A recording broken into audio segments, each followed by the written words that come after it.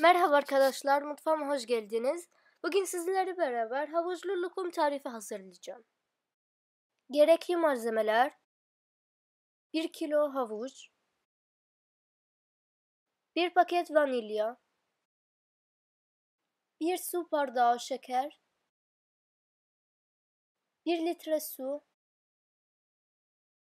Antep fıstığı 5 kaşık nişasta Hindistan cevizi.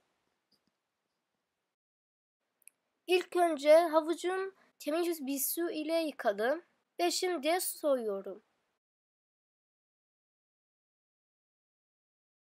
Şimdi ben bu şekilde yoğurmaya başlıyorum. Evet bitirdikten sonra şimdi suyumu koyuyorum. Evet 1 litre su ilave ettim. Su koyduktan sonra ocağımın altını açıyorum ve kapını kapı tencerenin kapını kapatıyoruz. Haşlanmayı bırakacağım. Kaynayan havuçlarım çatal yardımıyla kontrol ettim. Eğer iyice haşlanmışsa ocağı altına alın.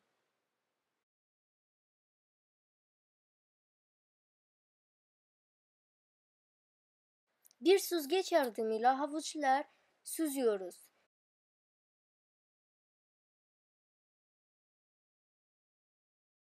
Tekrardan süzdüğümüz suya bir su bardağı geri ilave ediyoruz. Ve tabii ki de diğer suyumuz kullanmıyorum. Havuçlar hepsi ezileceğim.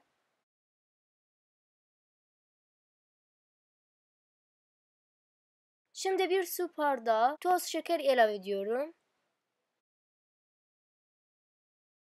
İyice karıştırıyoruz.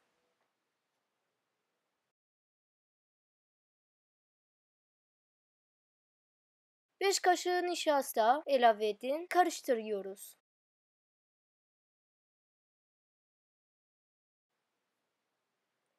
Harcımızı ocağa götürelim. Ocağın üstüne aynı muhallebi gibi pişirmeye başlıyoruz.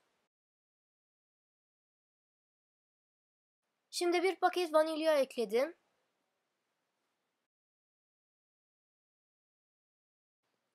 İyice piştikten sonra ocağın altına kapatıyorum. Şimdi ben kullandığım borcam önceden baya iyi bir şekilde ıslattım. Ve şimdi harcımı ilave ediyorum.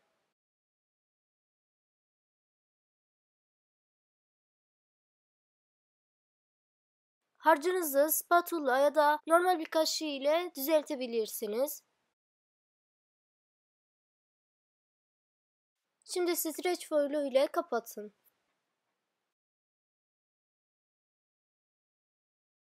Şimdi en az 3-4 saat dinlendireceğiz ama ben bir geceyi bekleteceğim. Buzdolabında bir geceye kadar beklettim. Tatlımızı küçük küçük dilimleri kesiyoruz. Tabii ki de siz istediğiniz bir şekilde yapabilirsiniz. Ben üç şekilde yapıyorum. Bu şekilde Hindistan, Hindistan cevizi içine koyuyoruz. İlk iki şekil ben üçgen yaptım ve kare şekilde de yaptım.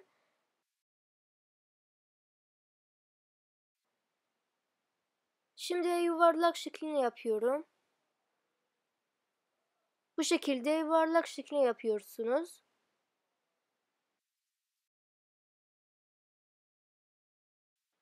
Yeniden Hindistan cevizinin içine koyuyoruz. Ondan sonra servis tabağına koyacağım. Şimdi parmağım ile ortasını açıyoruz.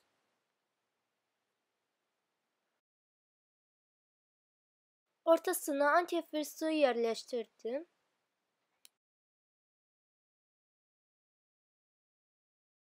Evet ben bütün şıklar size ayrı bir şekilde gösterdim.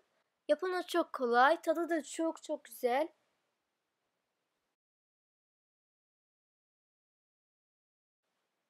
Tarifim sonuna geldik. İnşallah beğenmişsiniz. Kanalıma abone olmayı unutmayın. Hoşçakalın.